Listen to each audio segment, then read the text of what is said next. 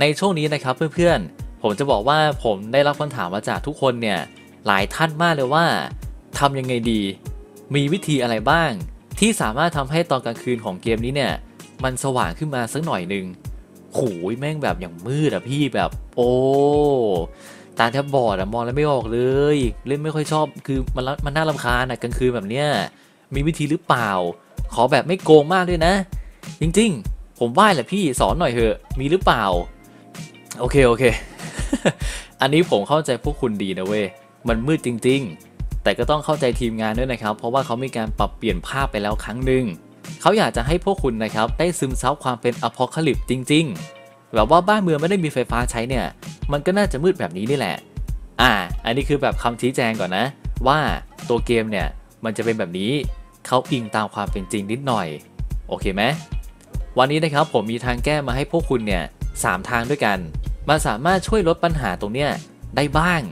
บอกไว้ก่อนนะครับว่าเส้นทาง 3 เส้นทางเนี่ยที่จะนำเสนอ มันไม่มีมันไม่มีสักทางเลยอะที่มันสามารถตอบโจทย์เราได้แบบ 100%นะครับดักคอไว้ก่อนเลย มันไม่ถูกใจแน่นอนแหละ บางอย่างคุณอาจจะไม่โอเค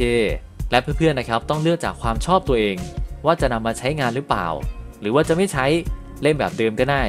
อันนี้ก็แล้วแต่นะครับตามสบายเลยอะมามามามามาครับ วิธีที่1นนะครับในการแก้ไขปัญหาความสว่างตอนกลางคืนเนี่ยเพื่อนๆนะครับสามารถปรับแสงเงาในเกม ให้อยู่ในระดับของมีเดียมปานกลาง หรือว่าจะเป็นต่ำสุดก็ได้ที่โลนะครับการปรับแสงเงาของเกมแบบนี้นะครับที่ผมว่าไปเนี่ยจะทำให้เกมของเพื่อนๆนะครับมีความสว่างขึ้นมาแบบทันตาเห็นเลยจริงๆ ณตอนนี้บนหน้าจอนะครับเพื่อนๆจะเห็นว่าเห็นปะเนี่ยไม่น่าจะเห็นแน่เลย นี่คือภาพแบบแสงเงาแบบอัลตร้านะครับ ปรับสุดทุกอย่างนะ มองอะไรไม่เห็นเลย มือตัวเองตัวละครยังยังไม่รู้เลยว่าอยู่ตรงไหนเนี่ยใช่ปะมันมองแล้วไม่เห็นเลย ถ้างั้นนะครับเราจะมาทำการปรับแสงเงาเนี่ยให้เป็นแบบมีเดียมกันอ่ามันเริ่มจะมีความสว่างขึ้นมาแล้วเว้ยนี่คือชาร์โดแบบมีเดียมนะ แสงเงาแบบปานกลาง ทีนี้ปรับแสงเงากลับไปที่อัลต้าก่อน 1 รอบ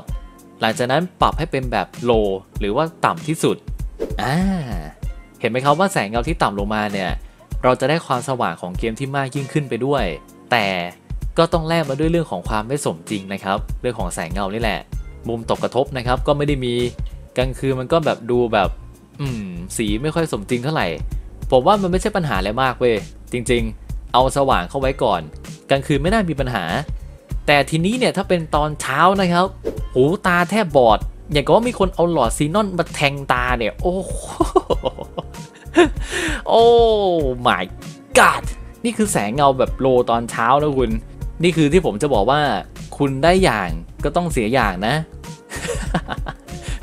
แสงนี้คือถ้าคุณทนตอนเช้าเล่นได้คุณก็เล่นไปเถอะนะครับ มัน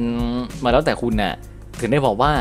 มันไม่ได้มีอะไรสุดสักทางเลย อันนี้คือคุณต้องเลือกนะครับ โอเค นั่นแหละครับ นี่คือวิธีที่1นนะ ทีนี้มาต่อกันที่วิธีที่ 2 นะครับ วิธีนี้ผมนำมาเสนอก็เพราะว่า คือคือตอนนี้น่าจะมีใครหลายคนเนี่ยอ่าแย้งผมแล้วโหพี่คอมผมมันแรงอะ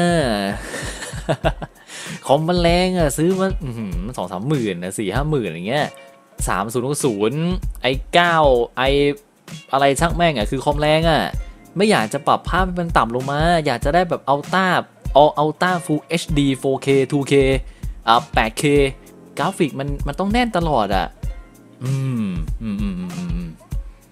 อืมเข้าใจ เข้าใจเข้าใจเข้าใจ อืม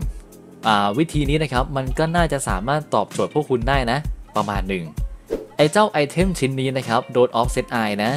สามารถทำให้เพื่อนๆเนี่ย มองเห็นตอนกลางคืนนะครับ ได้ดีมากกว่าเดิม ภาพจะมีความสว่างมากยิ่งขึ้น พอสมควรนะไม่ได้สว่างแบบว่าสว่างจ้าแบบกลางวันเลย อันนี้ก็ไม่ใช่นะครับ แต่ทีนี้ผลเสียเนี่ยเพื่อนๆต้องยอมรับนะครับว่า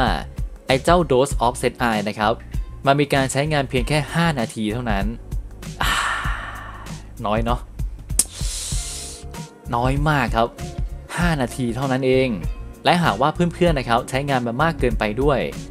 คุณติดเชื้อตายได้เลยนะ